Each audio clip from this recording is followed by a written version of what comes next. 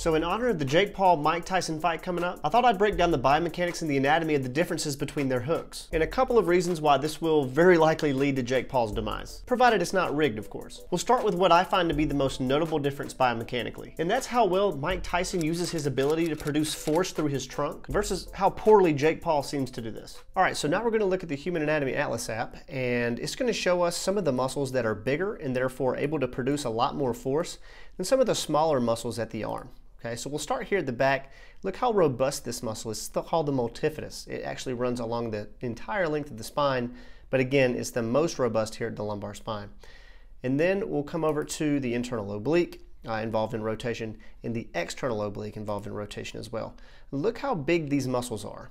It's no surprise that if we just kind of back up and look at the global movement that it's able to produce, the ability to generate force from the central part of our body to the outer part of our body or the periphery is integral to the ability to be able to produce a lot of force whenever you strike. Now let's see how each of them use their trunk when it comes to throwing a hook. When we see Mike Tyson fight or do pad work, we see that his arm is mainly just going along for the ride. Sometimes depending on the situation, he follows through or extends a little more, but for the most part, there's a lot of movement through his trunk, which generates all that power that we know him for. Jake Paul, on the other hand, seems to be an overextending machine. And I'm not just talking about leading with the head either. I'm talking about not rotating at the trunk and using almost arm or extremity muscles. Notice how much further his arm travels using the shoulder as the fulcrum of his movement rather than using the trunk as a fulcrum. In general, the more that we can distribute force through the hip and the trunk, the more power we can expect in almost any athletic situation. So, advantage Mike. And this leads nicely into the next part of the breakdown, where we look at the muscles of the shoulder and the arm that are involved with the hook. Jake has a pretty solid physique, good sized chest and arms, so you can obviously tell that he lifts and he has some strength. Mike Tyson even at 58, is still a little bit bigger. Now, I think we would be remiss if we didn't acknowledge the fact that age plays a huge role here. But with a genetic specimen like Mike, I think it plays a little less of a role when it comes to muscle mass. Okay, so back to the Human Anatomy Atlas app, and here we're gonna look at the muscles of the front of the shoulder that are involved with throwing the hook that are uh, we're going to separate them from those big muscles of the trunk that we looked at earlier. The first one here is pec major. Uh, under that is pec minor, and it's kind of contributing to this, but the main uh, primary mover of this motion uh, in isolation is the pec minor, or excuse me, the pec major.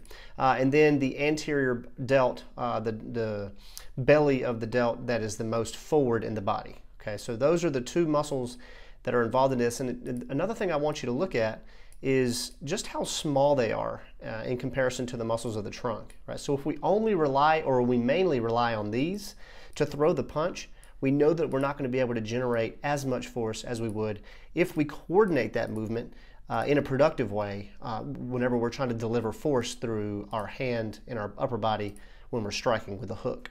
And the last advantage for Tyson has everything to do with not getting knocked out. And that's made possible, first and foremost, by the neck. I talk at length about the physiology of a knockout in one of my previous videos, and just how important a strong neck is to resisting the quick, rotational force that seems to be associated with knockout shots to the head. In other words, big muscular necks and their ability to resist rotational force decrease the likelihood of getting knocked out. All right, and back to the Human Anatomy Atlas app. One last time for this video, you'll see that they're doing left rotation here, okay? So these muscles that I'm about to show you are producing a movement that moves away from the side of the muscles that are on, okay? So the first one here is the sternocleidomastoid. It's the really big muscle that everybody knows when it kind of pops out in the front of the neck.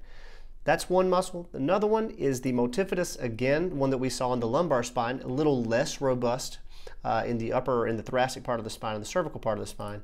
And then we have semispinalis cervicis, which is just another kind of secondary muscle that helps with contralateral rotation. And now we have rotation going towards the side of the muscle. Okay, so as we spin around here, we can see that all the way up here, and this is just a good example. A lot of people think that the upper trap is the is the big muscle of the neck. When you take the upper trap off of the neck, these are this is all the small little muscles that are involved in uh, neck rotation and really neck stability in general. Okay, so we have the splenius capitis here, which is I have found to be some of the most um, contributing muscle when it comes to neck pain.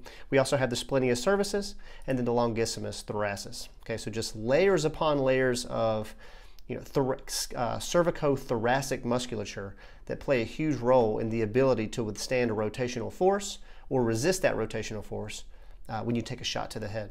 Now, look at this fucking neck right here. Good God, bro.